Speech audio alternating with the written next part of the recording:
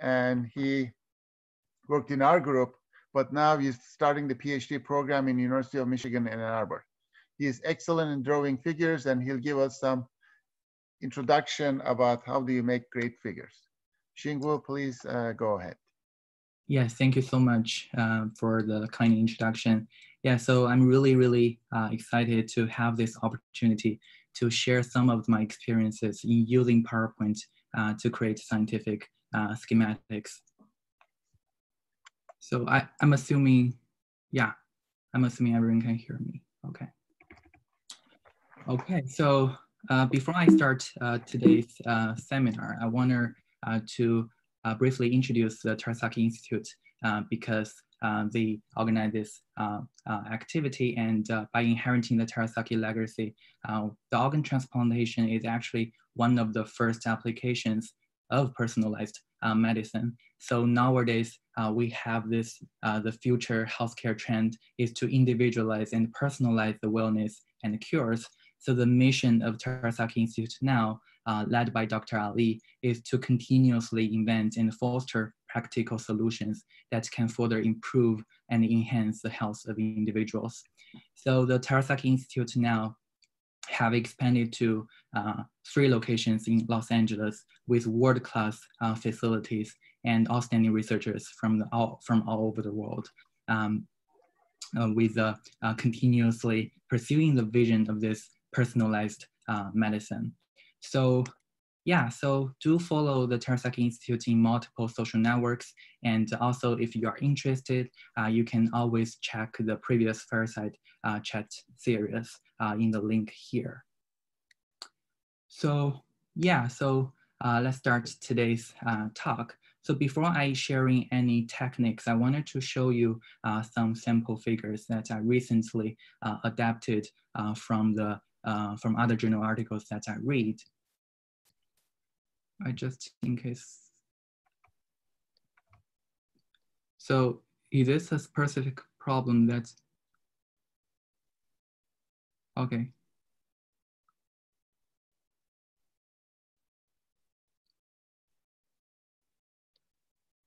Yeah, because the, the slide that I need to draw something, so I have to use this so that I can so that I can actually uh, so that I can actually uh, share how I specifically draw this. So I have to use this non-full screen format. Yeah. Can you make your slides full screen? Yeah, because uh, I need to draw something afterwards. Oh, I see. Okay. Yeah, sorry for the inconvenience. Yeah, so I want to share some of these uh, images that I recently copy paste uh, from the uh, from the journal articles that I read. And the reason that I recommend you to do so, to do so uh, first, they can serve as references and inspiration uh, when you are creating your own schematics. Uh, you can always refer to their style, their color choice, and how they are coordinating uh, every um, every uh, shape together, every components together. And as an individual, um, as a beginner of creating scientific schematics, uh, you can always, uh, by mimicking their style, you can start uh, building up your style uh, of creating scientific schematics gradually. So this is one specific example uh, figure that I recently created uh, using the PowerPoint. And the reason that I recommend using the PowerPoint is because it's such a simple and basic software that every computer uh, basically has it. And because it's very simple, and I felt I have a higher control uh, in using the uh, PowerPoint instead of other advanced software uh, that I may have less control of, even though they have, even though they have sophisticated uh, functions. So I believe the techniques that I'm gonna share today will be transferable uh, to whatever software that you are gonna uh, you are familiar with. And I feel uh, today's talk should really be inspirational uh, instead of me telling you straight uh, to uh, how to create a scientific schematics in a standard way. So for today's talk, first I will go over some basics in how to uh, add shape, how to add color and effect, and then I will go through some specific examples, for example, how to create a cells, uh, a virus, uh, etc. And lastly, I will discuss some caveats uh, in terms of coordinating uh, everything together. So Yeah, so the very first thing that when you are creating a schematics uh, is to have the, is to create a shape. So I commonly divide the shape into regular shapes and irregular shapes. So for the regular shapes, you can always find them uh, in this insert panel. So uh, in, in this insert menu that you can find the shapes and you can find uh, all kinds of very regular shapes in terms of uh, including the triangles, circles, uh, polygons, um, etc.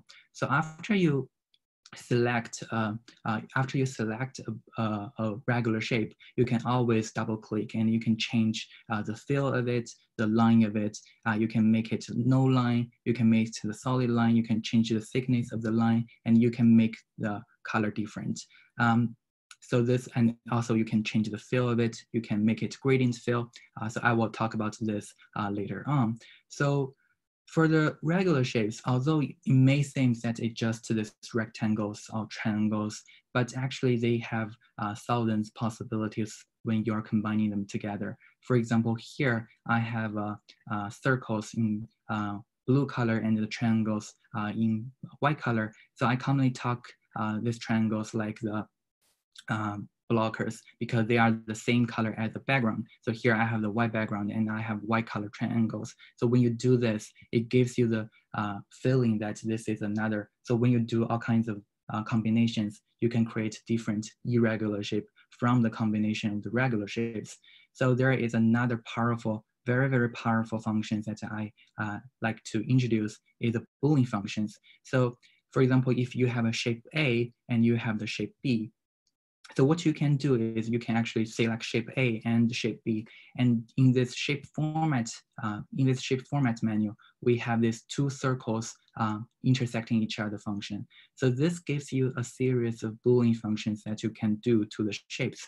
For example, if I do the subtract, you can actually create a, a new figure, a new component that's irregular. Uh, you do uh, when you're doing the shape A minus shape B. So they have a other kinds of, uh, you can do the union, you can do the intersecting, you can do all kinds of Boolean functions to different shapes so that you can create uh, uh, thousands possibility of other irregular shapes.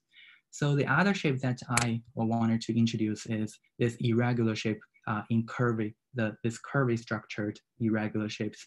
So the this is the most one of the most functions I also use. So it's the similar, uh, similarly, it, they are in this insert manual. So in the shape panel, uh, in the shape panel, we have this hill-like curve. So this functions when you're drawing, um, uh, they're actually connecting uh, each dots uh, in a curved uh, structure. So this is actually really, really uh, powerful in creating, for example, cells because most of the cells are actually um, for example, immune cells are actually irregular curve, uh, curve structure. So you can actually uh, use these tools, but this tool requires some practice because you have to be familiar with how they are uh, creating this uh, curve. And similarly, you can change, uh, you can, uh, by double clicking it, you can change the fill of it and the line of it, which are very, very basic um, uh, features of the shape. And when you are not drawing two ends together, you can get a curved line instead of a shape. And for example, this can be useful for the genetic material. Yeah, so this basically uh, how you can create some basic shapes. So after you have some shape, you have to uh, have uh, select the right color. So for me, I feel the color is really uh, the most, most important uh, thing in creating a scientific schematics. Uh, the reason is, for example, for the shape, you cannot, you do not have much playing ground there uh, because um, the, um, for example, the cells, uh, it cannot be uh, triangles or uh, rectangles cells. However, the color, you can be really, really creative. But that's also the place that people can constantly make mistakes. So for example, I have this two set of shape that really have the same shape and effect and everything, but they're just in different color. And you can notice that uh, personally, I prefer this uh, set of color combination uh, instead over uh, this one. So for the color, you really need to uh, practice. Uh, and one suggestions or recommendations is to prepare some color panel or color palette in some journal articles you are reading. So for example, this is an example color palette that I recently uh, used um, because this color are actually sophisticated designed. They are in right resolution, uh, in right uh, brightness. So yeah, so definitely uh, prepare some color panels that so that you can pick up the color um, uh, uh, they have previously designed. So because in this uh, PowerPoint, they can they actually have this they actually have this function that you can um, you can um, for example here uh, in this color panel you can actually uh, click on this more color and here they have the small syringes that you can uh, you can constantly uh, just pick up the color you like and then uh, the color will uh, immediately change and this color will save to your recent colors so that you can use all this uh, colors that you like instead of some default color the PowerPoint has, which is maybe not as good designed as the, the color palette. Yeah, so after you have some, uh, after you have the shape and you have the color to it, and uh, one way to make your uh, schematics more dynamic and more live is to add some effect. So here I want to introduce three effects that I frequently use. And um, they are color gradient, soft edges, and shadow. So for the color gradient, so when you double click uh, the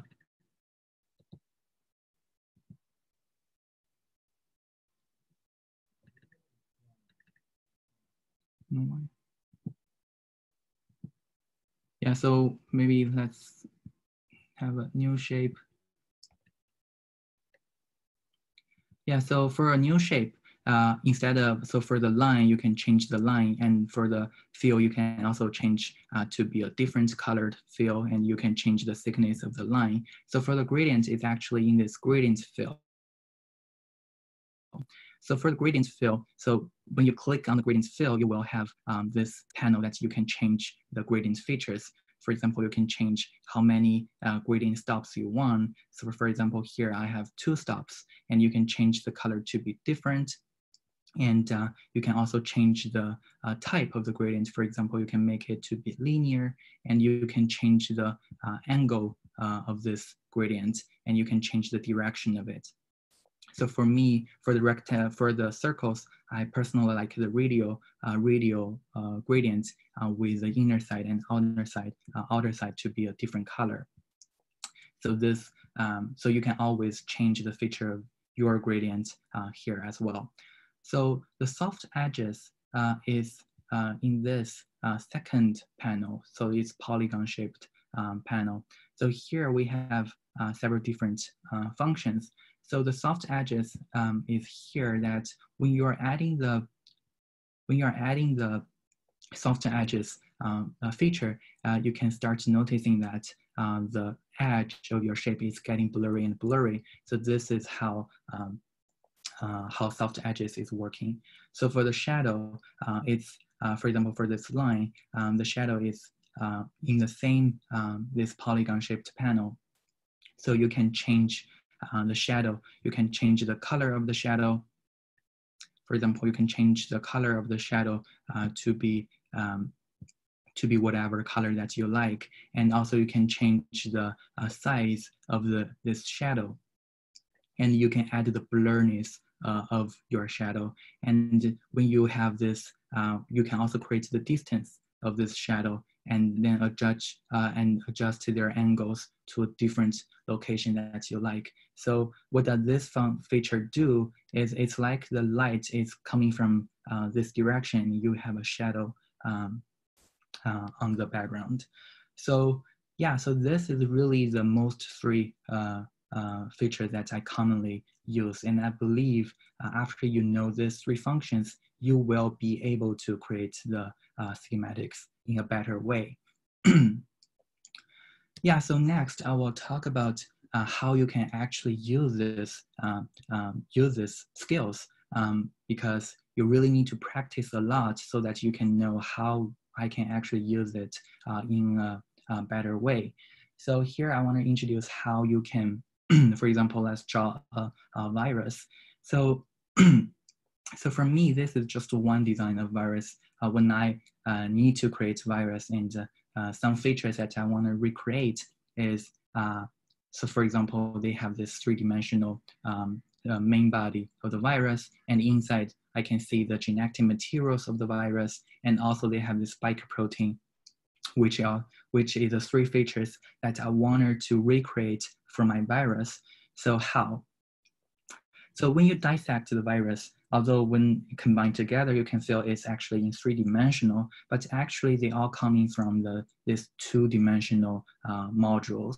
So in this section, I want to introduce you how you can actually use the shapes and the gradient uh, to create using the two dimensional uh, components, but create a three dimensional uh, um, effect. So yeah, so the first uh, function is we need to create a main body. So the main body is actually just composed by this uh, uh, different uh, shapes. So uh, when you are designing schematics, I, I think it's helpful when you are thinking of this um, to connect this uh, with some realistic examples. For example, if you wanted to have this see-through, that you wanted to have this small opening of the virus and you, so that you can oh, so that you can look through it to the inside. You can think of this as a watermelon, for example, that you have this two cuts so that you can have a small opening and this small opening, you can see what's inside. So here we wanted to see the genetic materials, for example. So then you need to know how I can actually uh, create these two cuts. It's actually the Boolean functions that I just mentioned. So here, it's just the theories, there are two different elliptical, uh, elliptical um, shape that when I do shape A and minus shape B, I will get, so it's in this, sorry. So it's in this so when I do this shape A minus shape B, it's in this shape format.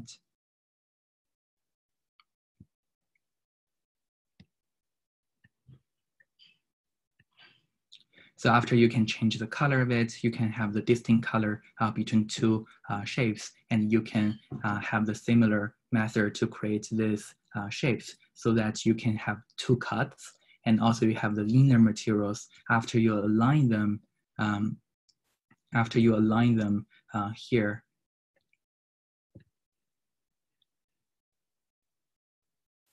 It gives you the feeling of uh, you're opening up. So actually the shape, uh, the shape and the color of it uh, is really, really, uh, really, really matters uh, how three-dimensional it can be. So you can, one example that I commonly use is for example, uh, if you are cutting a watermelon, you will see, so for example, here will be the darker green and here will be the two cuts will create two uh, lighter green because uh, you have this inner side of the watermelon peel. And also you have the uh, inner part will be the red. So you have to have this uh, you have to have this color difference so that you can have the uh, you can have the uh, this feeling that um, opening is three dimensional. So you have to play around, uh, play, uh, play with this uh, colors and the shapes to make it uh, more uh, visualized, impressive. Yeah, so after you have the uh, the background of it, uh, so you wanted to create other components of the virus, for example.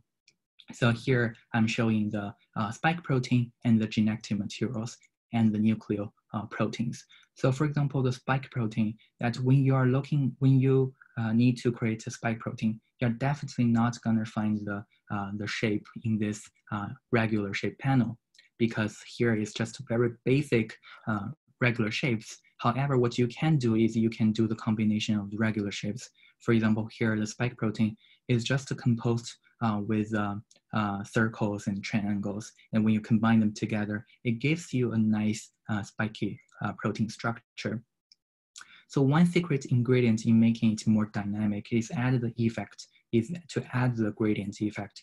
So here I wanted to introduce the use of a gradient instead of previously uh, we uh, I introduced the uh, the use of the shape. So here, if I do not have any, so for example, here, this two, the only difference is I have this circles is ingredient and the inner color is lighter and the outside color is darker. So by doing this, uh, by doing this gradient, it makes you feel that the spike protein is more three-dimensional. It's like the spike is uh, popping up. So this is just the function of this gradient. And um, uh, when you can, when you recreate this, you can imagine that you have a balloon, for example, before you're blowing them uh, up, and it's like uh, a dark color. But when you are blowing up um, further, and you will see the color is getting lighter and lighter, and then it's more three-dimensional. So the direction of the the direction of the gradient is also really, really important. For example, here, why I have the light color inside and dark color outside, you can also imagine the balloon that uh, when you look very, very closely, you will notice that the top of the balloon is actually the lightest uh, compared to the side of the balloon and the bottom of the balloon. So this gave you the background why you are using the light color inside instead of light color outside. So this example is the light color outside and the dark color inside.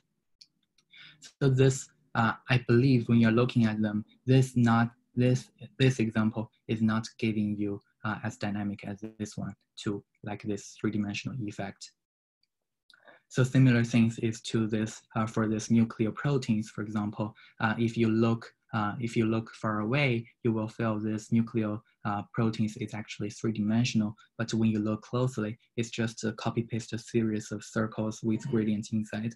And similarly, if you do not have any uh, gradient, you will feel uh, this shape module is really, really dead. When you put this behind the genetic materials, I believe the effect will not as striking as this one. So I really recommend uh, you guys to use your imagination uh, in how you can actually uh, create a schematics and use some realistic examples to guide you uh, how I should add the gradient, why I should add the gradient, and uh, uh, what the direction should be. Yeah, so another example that I want to introduce is to create the cells um, I want to specifically introduce the use of this transparent blockers. So after you use, um, let me uh, recap, after you use the shape manual and you have this curve function that you create a curved uh, background of the cells. So when you, when you select this, uh, you can change the, uh, you can change the color of it. So let's make, a, make it to be the gradient. So I commonly like the uh, color to be similar because I don't, but when you choose the same color or similar color, uh, the gradient is not obvious. So one thing you can do is to add the transparency of it so that your, uh, so that your um, gradient is more obvious to the readers. And um, so after you have the right color and the right gradient, and you can uh, use a similar, uh, similar functions to create other um, other uh, components. For example, the nucleus is also coming from this curve uh, function, but the only difference is I don't have the solid line because for the nucleus, uh, I, I like it to be no line, but I have this color difference so that uh, you can actually see the uh, nucleus as well. So after this, you actually create a very simple cells. But when you look closely, some of the papers that why their cells are very, very uh, dynamic and very, very um, sophisticated designed is actually they add those uh, modules that inside the cells. So those modules um, are really uh, think, uh, they, they are just created from the, uh, from the curve uh, function as well. But what these blockers can do is to make your cells more sophisticated designed. But you want it to the you want you want this um, uh, modules to be really, really uh, transparent so that you can, uh, it's not easily detectable. But the other uh, functions of these modules is when you wanted to create an effect of, for example, the nanoparticles or the virus uh, is coming inside of the cells, uh, this extra layer can actually block part of the nanoparticles or virus so that you have this feeling of the virus or the nanoparticles is going inside. So these modules give you another, uh, to give you the uh, function of doing so. So when you are creating cells, so these modules are simply creating, uh, created by using this uh, curve uh, function. So they're very simple, but when you add these modules, it makes your uh, schematics more, more sophisticated designed. Yeah, so yeah, so next example that I want to introduce is uh, syringes. So this is just one example, um, uh, uh, one example of my design of the syringes. So when you're uh, trying to create a schematic components, I suggest uh, you to really um, think of what kind of features that you wanted to recreate. For example, for the syringes, for me, uh, the feature that I want to recreate is the see-through functions that I want to look inside the syringe and look at the liquid inside and the piston is pressing the liquid. So that's the three, uh, that's the two major functions that, I, that I wanted to uh, recreate for my syringe. So how? So for the syringe body, uh, it's just a rectangle. So for example, uh, if I wanted to create this see-through functions, I have to have this inner color to be light and very, very transparent, very, very transparent, so that after, uh, so that when I put something behind it, I can actually, I can actually look through uh, this syringe bodies. So this actually how you can uh, use the gradient and use the um, use the gradient and use the transparent color to create these see-through functions. And also for the liquid, you need to uh, really need to use your imagination. So for the liquid inside, if I wanted to create this pressing functions, uh, pressing of the liquid within the syringe, you can imagine that this part of the liquid should feel more pressure and maybe they're more concentrated because of this direction and because of this uh, the gravity. So this part will be more concentrated and feel more pressure. So how you can recreate this feature in by using the gradient is you just use a darker uh, darker color uh, on the bottom and the light color uh, in the in on the top. So that's how you are indicating here it's more concentrated and how you are uh, making make, when you're combining this together, it makes your piston is pressing. And um, if you don't believe uh, this actually matter, so let's uh, change the direction of this liquid to the other way around. And when I put, now I put this uh, behind the syringe body, you can feel um, it's not as, you, you cannot feel the pressing, the liquid pressing functions of the syringe. So yeah, so that's how the direction of the gradient also really, really matter. And you have to use, use your imagination uh, to think how I should use uh, the skills that I know of to recreate some realistic features um, uh, for this component. yeah, so the next example that I want to introduce uh, is uh, to create the polymeric uh, nanoparticles. So uh, specifically, I will briefly introduce the use of the shadow, which is one of the effects that I mentioned so for the nanoparticles, so this, for me, this is like a core shell uh, nanoparticles. Um, you can load a, very, a variety of cargoes inside and you have the polymeric chain uh, outside. So, so for, for this, so again, this is just my design of uh, my thinking of nanoparticles. You can, uh, you can think of your own design. So, but it's actually very uh, simple. So if I reverse what I do to this shape, it's just I add a color to it. Uh, is I just add a shadow to it. So if I make the size to be zero, it's just a circle. So this is just a circle uh, with a gradient fill inside. However, if I want to recreate uh, the shell, the polymeric shell, what I can do is to have this uh, in the right size. I can control how thick of my polymeric uh, shell and you can change the color. You can change the color of your polymeric shell. You can also uh, make it uh, less blur and um, you definitely do not want to have a distance because what you're trying to uh, create is a nanoparticle that are generally in symmetry. So, but maybe in other cases, you can adjust the angle and you can, uh, you can change the uh, direction of it. Um, you can change the direction of it. Um, so yeah, so basically that's how you can use the shadow uh, to create uh, a background of polymeric nanoparticles. And uh, uh when you create this such thing, it's very simple, um, but what you can do to make your uh, com components more uh, sophisticated designed is to add those polymeric chain for example, because you are um, creating polymeric nanoparticles, why not uh, use the curve structure that I mentioned to uh, align uh, this polymeric uh, curve structure uh, along with this nanoparticles so that when you look when you look at distance, you feel this nanoparticle is more sophisticated uh, designed. So sometimes you need to enrich uh, your schematic components uh, to involve different color, to involve different, um, to involve different effects so that it's more dynamic. Yeah, so the, the other example that I want to introduce uh, is uh, to create some background, uh, specifically how we can use the soft edges. So for example, here that I have um, created a polymeric uh, chain with some functional group. And after you know those, um, uh, you, you are master those skills, you can notice that I use this curve structure, I use a gradient line, and I use a Boolean function generated uh, antibodies.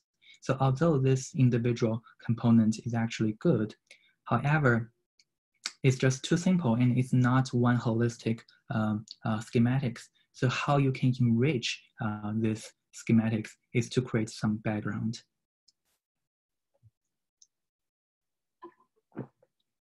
So when you look closely, what I do to here is actually to add some colored um, background uh, behind this module. And you can, you can notice uh, what I do is just a series of circles and uh, make it very, very transparent and make it very, very soft edges. And when I put this uh, module behind, you will actually feel, um, you will actually enrich uh, the schematics. And also you can notice, for example, here, because I use the red color, uh, so this red group, I have the red uh, blurry background behind and similar thing happens for the peptides or the antibodies uh, here. And also uh, because this is uh, uh, because this is a polymeric chain, I'm assuming that uh, you have a mixture of it, a solution of it. What you can do to enrich this schematics further is to add those polymeric chain uh, behind your major component. However, one thing that I really, really uh, wanted to emphasize is you wanted to make your background to be very, very transparent and to be very uh, nearly non-detectable because you don't want to have a background that you don't want to compromise the reader's ability to, uh, to notice what you are trying to emphasize. So um, this is your major feature that you want people to uh, read instead of the supporting role of the background. And uh, the other the other thing uh, that I want to mention is I use this um, blockers. So sometimes when you are creating some random structures that are not normally in the uh, desired shape that you like, for example, um, uh, it's an irregular shape, but the schematics we, con we constantly wanted to have a square-like uh, structure. So one thing you can do is to have some white or background color blockers. So so I have the this blockers on four sides so that I can have a nice uh, square uh, shape uh, schematics. But one thing I wanted to uh, emphasize is you can notice clearly that I actually use the rectangles with very, very soft edges.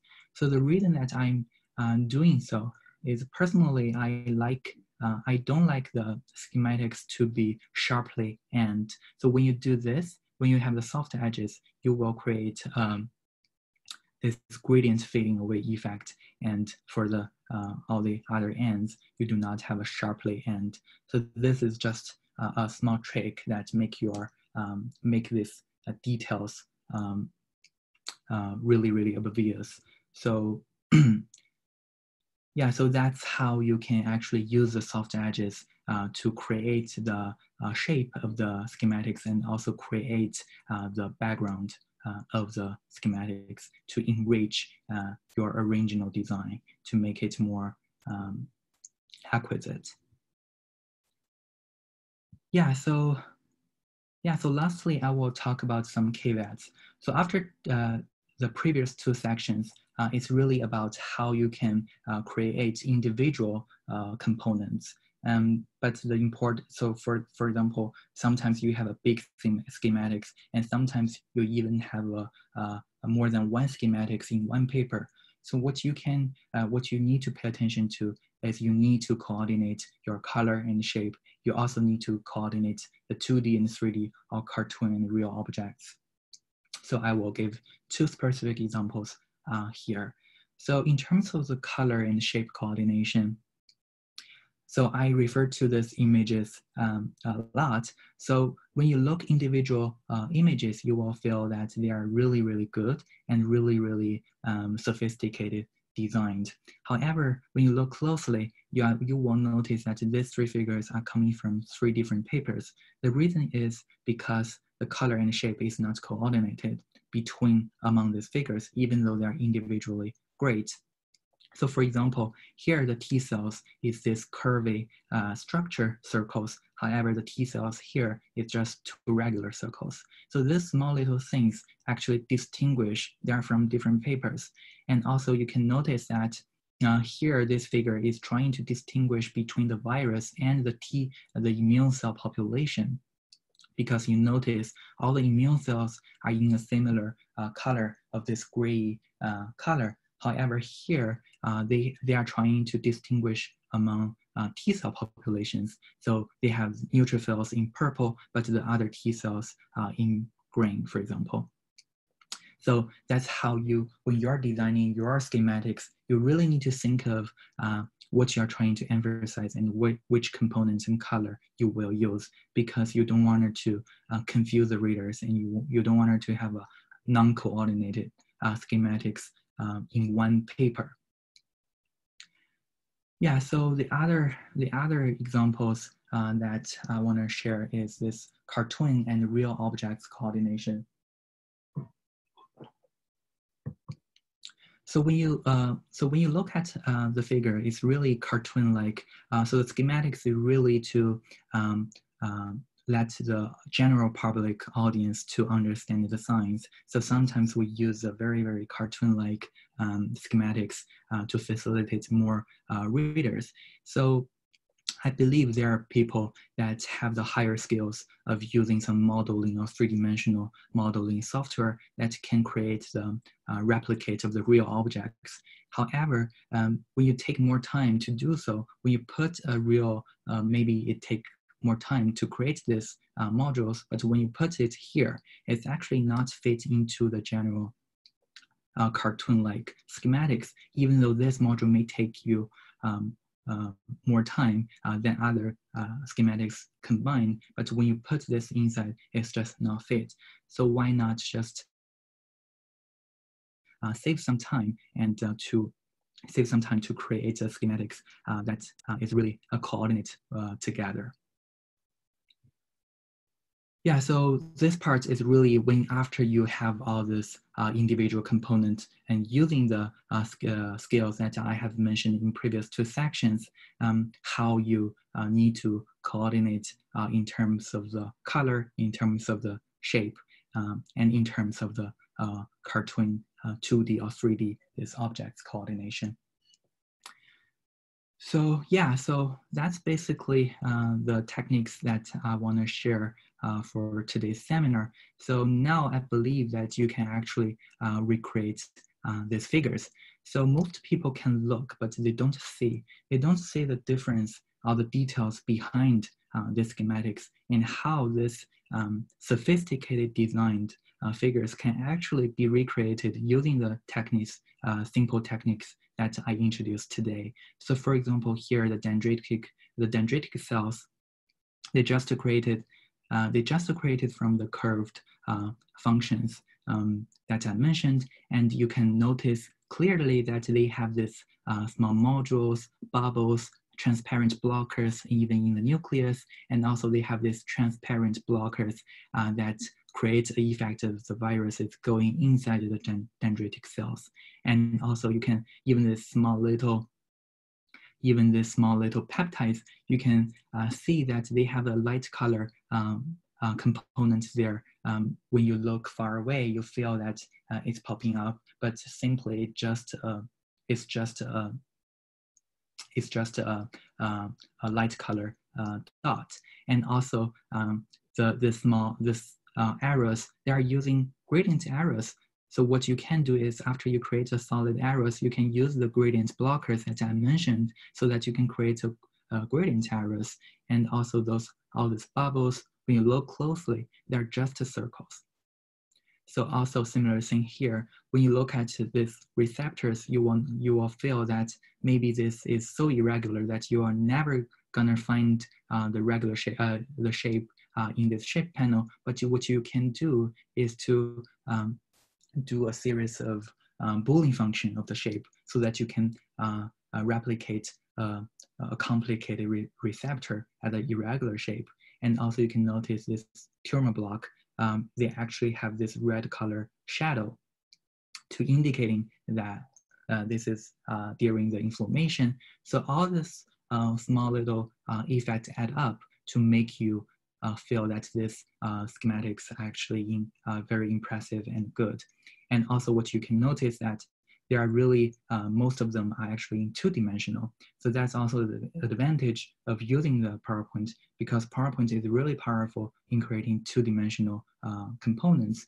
And uh, if you look more closely, you will find actually 99% um, of these modules actually have the gradient. So, so when you don't know if you should use a gradient or not, you uh, you can try to use a gradient and uh, play with the gradient and play with uh, the direction of it, the color of it, and then you will be able to recreate these uh, figures. Yeah, so uh, with that, I really wanted to acknowledge uh, all the lab members during past two years during my master study at UCLA, and especially I want to thank Dr.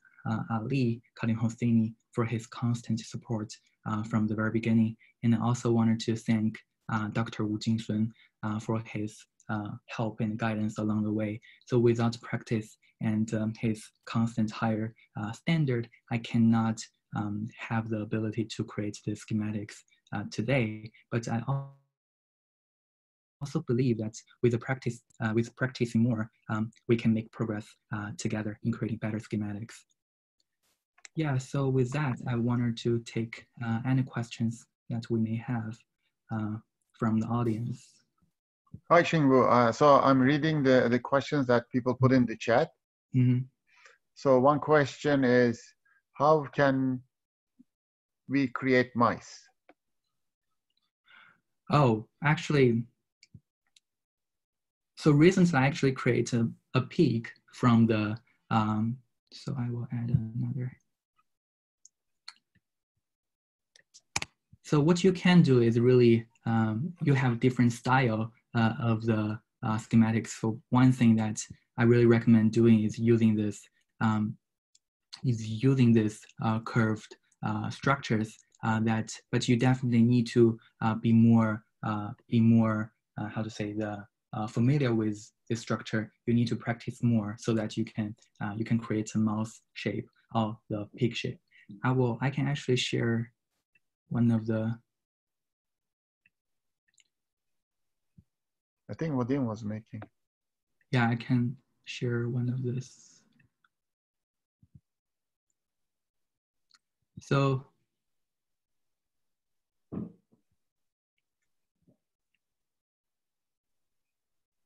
Oh, I'm not here. So yeah, so definitely play with the a curved structure and you can, um, because there are, you, you do not have to have a, a real uh, mouse and you just have to have a similar shape. And you also you can have this, um, uh, for example, this, this shape is really uh, like the mouse body and that's how you can change it uh, to be a mouse that you like. Again, it's really a combination of different shapes. Yeah. Uh, so other questions are why not use Illustrator or uh, BioRender? Yeah, so yeah, I mentioned uh, that I personally I'm familiar with the uh, PowerPoint. I mean, if you are familiar with Illustrator or BioRender or whatever soft software, I believe they are more sophisticated and any effect that I'm talking about will be transferable. Uh, and I believe they may have uh, more functions um, that PowerPoint doesn't have. But if you can, uh, if I am able to uh, create the schematics that uh, to the level that I'm satisfied with, why not use a simple uh, software instead of some uh, other um, other more uh, uh, that's more challenge to use one. Yeah. Two questions. One is how do we control the resolution of the saved images and how to increase the resolution of these images? Oh, so I don't know if they have, so the PowerPoint has this uh, that you can control the resolution, but what I do is after I create the, after I create, for example, uh, this, uh, in, uh, this, uh, this images, what I do, I take the screenshot of it and I will put them into the uh, Photoshop and to make it resolution, whatever you want. But actually, um, um, after I do the screenshots, it's actually pretty resolute and to uh, satisfy with the most uh, requirements of the most journals.